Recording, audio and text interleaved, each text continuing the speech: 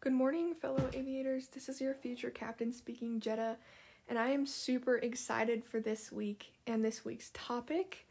Um, happy Sunday, first of all. I hope everybody is doing well, and I I just recently put out the poll again, and I'm actually filming this one a little bit earlier than what I'm used to because today I'm in Salt Lake. Super exciting, super amazing, but um, this week's topic was just kind of surprised me.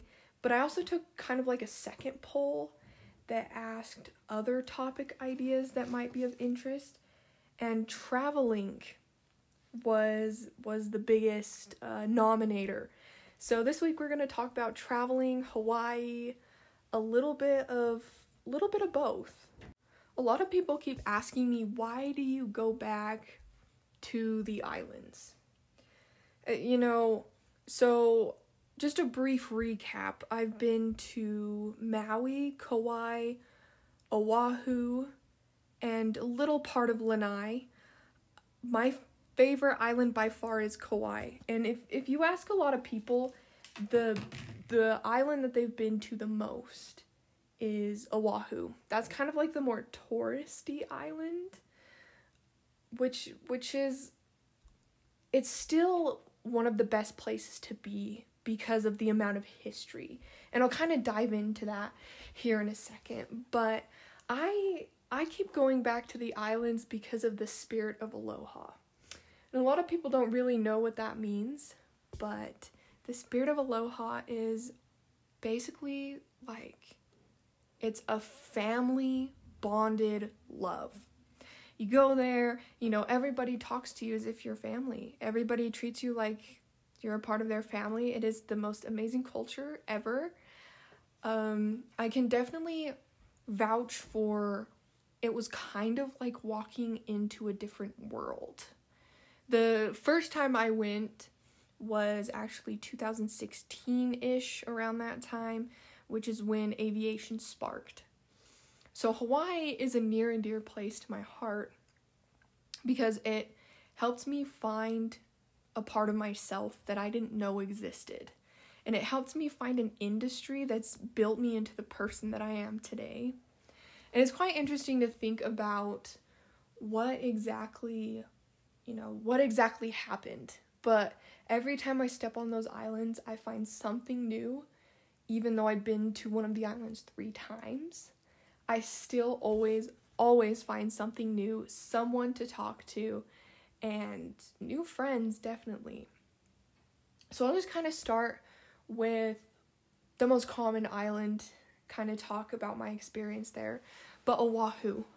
So Oahu is is really the most popular island. It is the it's it has a rich history.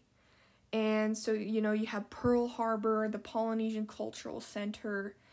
But I really kind of want to talk about my individual experiences really quick with these islands.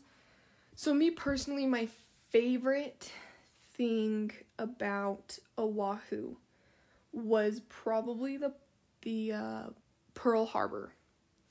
So Pearl Harbor, if if you're not too familiar with me, if you haven't been following my blog for very long, which is totally fine, welcome aboard. I love history. I love places with rich history. I love learning history. Um, I love learning the science behind things. I I'm just a learning nerd, I guess. But this so Pearl Harbor, you can tour kind of the different parts. So we did the the submarine, we did uh, the battleship, we went out to the memorial. But something that really kind of struck me was the Pacific Aviation Museum. Sounds crazy, of course, because me and my little airplane mind. But this place, it had so many um, so much to offer. And for me, it was really impactful to see, like, it kind of came alive when we went to the aviation museum. because there was actually bullets in like bullet holes in the glass from the bombing of Pearl Harbor, which is absolutely crazy. Like I kind of was like, yeah, this is cool. This is cool. But it wasn't until I hit that moment of realization that this is a real big piece of history of Hawaii's history, of America's and the world. So that was a really, really neat experience. And just reading the names down the wall, it kind of provided a little bit more of a an eye-opening experience of oh my goodness, all of these people were involved in this. All of these people, you know, died. They these memorials are here to remember them. But it was really quite an eye opening experience. And that's kind of really the only way I can describe this because traveling, you can talk all about it. You can talk someone's ear off about traveling, but it doesn't even do justice to what it's actually like. Which also kind of brings me into the next thing I liked about Oahu was the Polynesian Cultural Center. Now, I I love languages. I am trying to learn as many as I can. Right now I'm pretty pretty good at at Spanish, learning German, working on German. German's a tough one, I have to admit. But I love seeing and meeting people from all over the world. And one thing that really struck me was going to this Polynesian Cultural Center because you know they had Fiji, Tonga, Samoa, Hawaii, New Zealand, and you know they're the they were practicing they were showing off it's like a cultural showcase. And the music the dancing the singing the basket weaving the uh, people climbing coconut trees. And it's just it's a really immersive experience for literally anybody. Anybody and everybody would probably love to go there. I highly recommend the Polynesian Cultural Center. They teach you a lot. And I love hearing like they'll they'll start off their presentation by saying hello and greeting um, the crowd with in their native language. You know, like aloha, talofa. And and it's it's just a wonderful experience that kind of opens the eyes to this is what this is what aloha and family is all about. And that's kind of what the Polynesians want the world to know. You know, everyone's family. We're it's amazing. So there's so many other places on Oahu, like waterfalls, beaches, um, Waikiki, Honolulu, Ala Moana. You got, so if you like shopping, Ala Moana. I don't like shopping, but it's fun in Hawaii. They have so many different food places and different cultures of food that you can try. It's it's definitely the most probably diverse culturally place I've ever been, and it's so cool. But I also wanted to kind of touch on Maui here so Maui's not like too much of the, you know, cultural or Maui's just kind of there to play. I've kind of figured that out. I don't know, other people might have different experiences, but again, these are all just my experiences and my thoughts. But Maui was super fun. I did I really loved one of the beaches there and it's they just call it Big Beach there's a Hawaiian name for it, and I can't quite pinpoint what it was.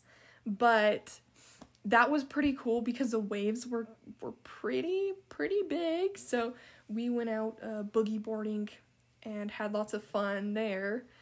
It's the water was super clear, super nice. But the road to Hana, the highlight of Maui, each island kind of has its own highlight. Like, yeah, I would go back here for this, or I would go back here definitely and go here. Um, for me, in Maui, it had to have been the road to Hana. That was the most beautiful experience because I mean, dense tropical forests, waterfalls, black sand beach.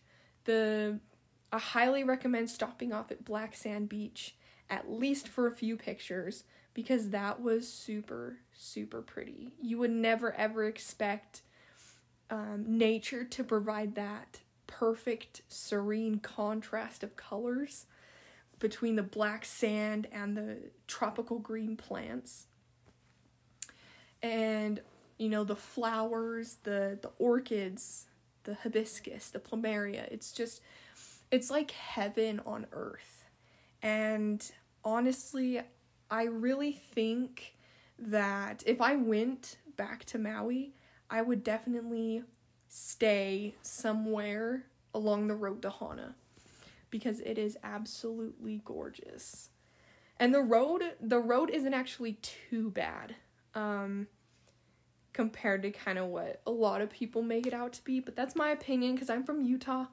and we've been on some pretty pretty interesting roads here. But yeah, Road to Hana, beautiful, beautiful experience. And stop by the um, plant shop. There's actually like a plant garden there that sells plants. I got an orchid from there and it's absolutely beautiful. So the road to Hana really reminds me of my favorite island, which is Kauai. Now, Kauai is the farthest island to the west that people, that tourists are welcome to.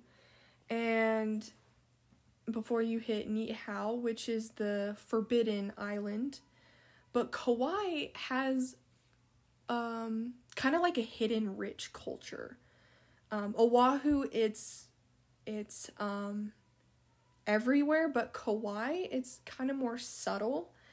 But and not often is Kauai talked about, which is kind of why I wanted to get this topic out here because Kauai is beautiful. I I would describe it as the hidden gem.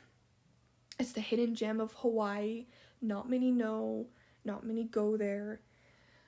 But I kind of want to, there's a lot of things that I liked about Kauai. And number one is definitely the beaches. Poipu Beach is so pretty.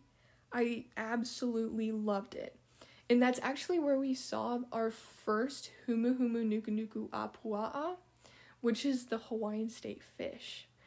And it basically just kind of means a fish with a pig-like nose, and it actually does kind of look like a pig. It's it's really cute. It's a swimming pig, but um, yeah, definitely beaches. The beaches around Kauai are super like serene and pretty, and the water is is um that aqua blue that you see in like the Costco ads or the that that's it is Hawaii. It is definitely Hawaii. But another thing I really liked about Kauai is a local family there. Um the Smiths. So the Smiths do the luau's and they'll they'll actually give you a tour of their farm. It's like a farm, but they it is the sweetest experience ever. Like honestly, it is so pretty. And going to a luau, like you would want you want to go to a more authentic one, and this one is pretty dang good. I the food is really really good.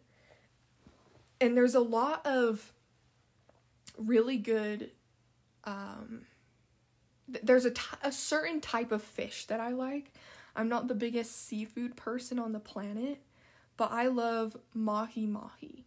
If mahi mahi was available to me every day, I would definitely eat it every single day. But unfortunately, it's not, and I have to go to Hawaii to get it fresh. But, and it's just their food their culture, it's all blended together in this luau, and they have singing and dancing and in a, a fire dancer show, and they actually perform. I can't remember what it's called, but it's a story, And a lot of Hawaii, um, the Hawaiians and the Polynesians love um, that culture. They they love storytelling.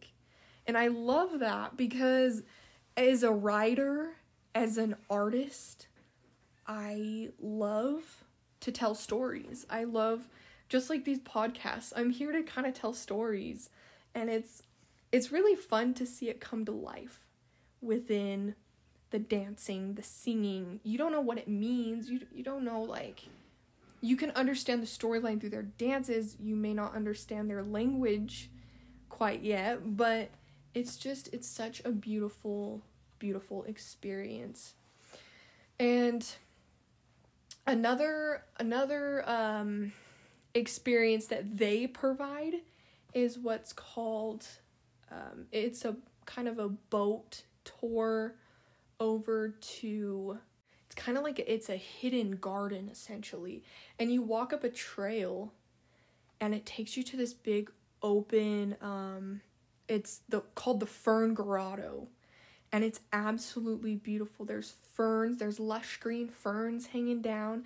There's a trickle of water that kind of passes through the cave a little bit. And it's just absolutely amazing. It is definitely the closest thing to heaven besides flying, in my opinion. It was absolutely, it's like a miracle on earth. So, with that experience, they do perform a lot of weddings there. And honestly, if I ever got married, I would personally love to get married there if that was an option available. But it's really it's such a amazing experience and they'll actually like play the ukulele and they'll kind of talk about the history of of the cave um, but just these experiences that you get from um, traveling and exploring new places and one of my favorite kind of quotes that I live by is you want to die with memories and not things. And so I'm all about traveling and, you know, spending money on a new place. Like, I would absolutely love to go to Kauai again, even though I've been there three times. There's still so much that a tiny island has to offer. You can't see it all. I've spent more than a month in Hawaii over the course of my life. It's been more like a month and a half, maybe. And I still haven't even seen a fraction of of those islands. And Kauai, they offer so many like hole in the wall food places and it's really good. And that's another thing that I recommend is if you're going somewhere new, try something that is local to the place don't go to like international chains or places that you can get at home. Try something new. One of the restaurants that I highly recommend on Kauai is this it's called Garden Island Barbecue and Chinese. And it is so good. They have literally the best mahi mahi. Um, but some of the food that I've tried there, Smitty Smash Kauai, is really good. They have really good hamburgers or smash burgers, I should say. And on Maui, there's a really good fish taco food truck. I can't remember the name of it off the top of my head, but the the cultures of food that kind of gets mashed together there, it's really really cool. So Lanai we did kind of like a snorkel excursion um, a boat ride over to Lanai and saw lots of fish. Uh, saw a couple turtles. That was really cool. The turtles in the ocean life. I never truly knew that something existed that beautiful underwater. It's the coral, the colors, the fish, the it is the prettiest thing ever. And so um, uh, we also went over to Molokini Crater. That was nice. And on Kauai, another thing I highly recommend is taking a boat around the Na Pali coast. So that's on the north shore of Hawaii. So basically, you can picture uh, Utah mountains, the the Uinta Mountains, but taller, more of a cliff type, uh, rugged, definitely green, beautiful, lush, tropical, gorgeous, and like all the way around the northern side of the island. And that boat ride was super super pretty and it was so fun. The the wind was a little was was a little bit um it, it was a little gusty the second time we did it, but the first time it was perfect, like perfect conditions and it was so much fun. And the fish, the the snorkel life over there, the sea life I should say, is so pretty. So another thing about Hawaii, tips and tricks, I get asked a lot. Um really just go there to enjoy yourself. And the biggest thing that I learned about Hawaii is they they love everyone and it's pretty amazing. I kind of went there a little bit like mm, I I think I think this is to be fun, but no, it is an absolute blast. Basically, there's a lot of Hawaiian songs and reggae songs about um it's it's just kind of like don't have a worry in the world. Yeah, go there, go to Hawaii with that attitude because if you do, you're going to have the best time of your life. And Hawaii, you may be thinking, "Oh, well, you know, it's just kind of like Salt Lake but with palm trees." And honestly, no, it's not. It is the most prettiest place ever. I mean, even Honolulu. I loved Honolulu. I loved Waikiki. I loved I'm a more I like the more outside of the city, the more rural parts of of um places. But I must say that it was such a pretty place and Kauai, all of the islands I've been to, I've loved at least something. And I don't think there hasn't been anything that I didn't like on the islands. So basically, just go with um, an attitude of, I'm just gonna do whatever I want. I'm just gonna chill. I'm just um, island time. Make sure that you kind of relax a little bit. That's definitely, definitely a, a life tip when going to Hawaii. Because I used to be kind of more used to the upbeat hustle and bustle of Disneyland because we used to go to Disneyland a lot. But when we went to Hawaii, it was basically stepping into a whole different world.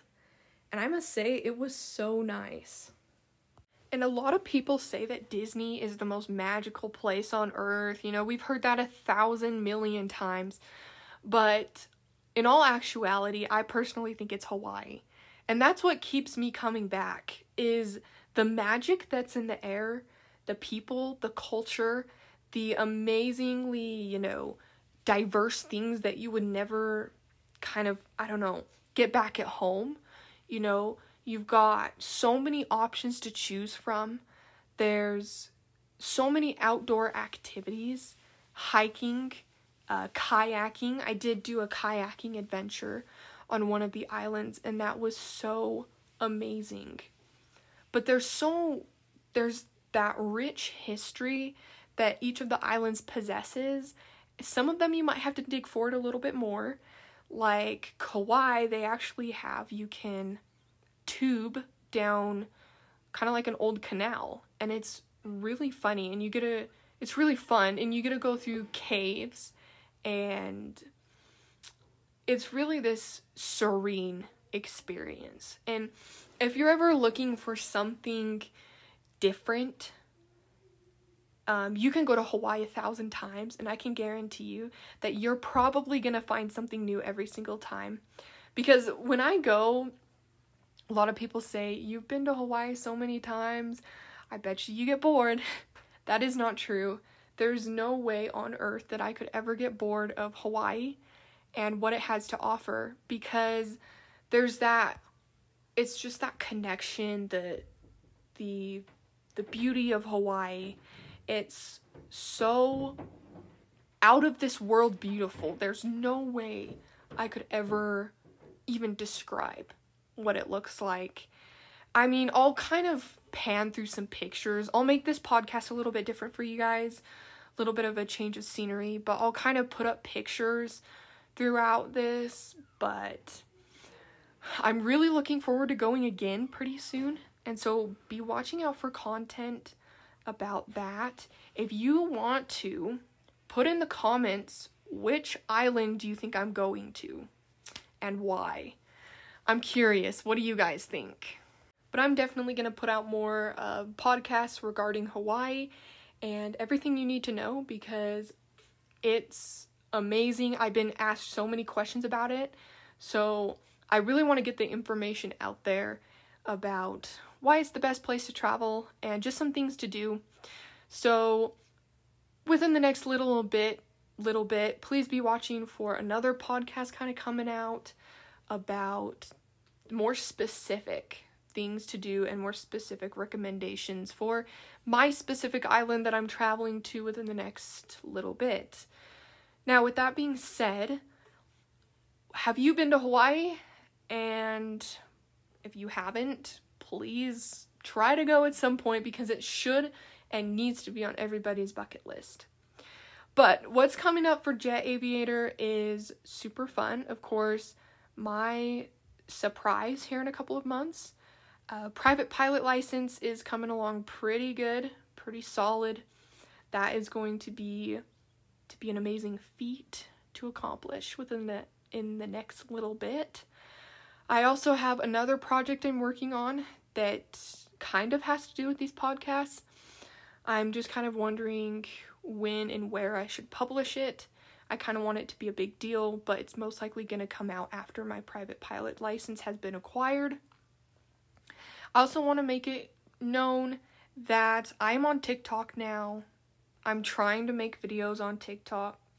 Is it working out? Not the best, but we're trying. Um so happy March. Happy first week of March. 2023 is going by super fast. And I cannot believe that it's already March. So happy March. Um I did change the livery. It is green with a turtle. So it's pretty cute. I thought I'd put it up. I was gonna do a shamrock for, um, I was gonna do a shamrock for St. Patrick's Day, but I decided on a turtle. But anyways, I hope all is well with you guys. I think I'm gonna end here, but mahalo for watching my podcasts, listening to them, and I look forward to going more into depth about Hawaii within the next little bit. And I hope all is well and be safe, stay safe, fly high, and don't forget that flying is freedom and freedom is flight. Thanks, guys. Bye.